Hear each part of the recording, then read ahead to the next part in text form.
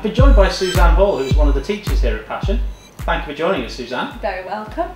Maybe you could tell us a bit about what Passion Academy is. Yeah, sure. Um, well, Passion Academy was set up by three directors, myself, uh, Suzanne Hall, uh, Dean Barlow, our finance director, and Debbie Pine, who has Pure Management, which is an agency.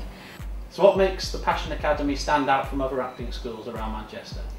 I think because we're all very passionate about what we do, Mm. and we're all industry professionals, everybody that's involved in passion, whether it's from teaching to uh, the agent herself, Debbie, uh, we're all very passionate and we're all industry professionals. We've all worked in the industry for Yes. a number of years, Mm. which makes us stand out from all the rest. Because you yourself obviously had a long-term role on Hollyoaks playing Suzanne Ashworth, bit of a character. Yes, that's right. Yeah, she is a bit of a character.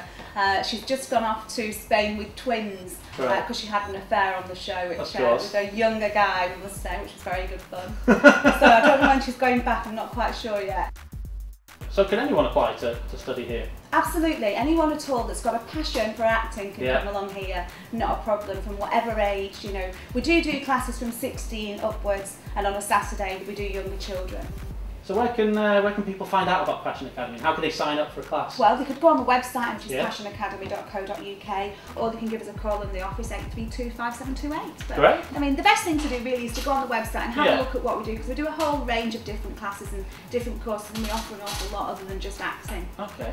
Well, we're going to have a look at one of your classes in a Great, brilliant. But thank you very much for, for this interview. Not a problem, And uh, we look forward to, to seeing it in action. Great, thanks very much. Thank you.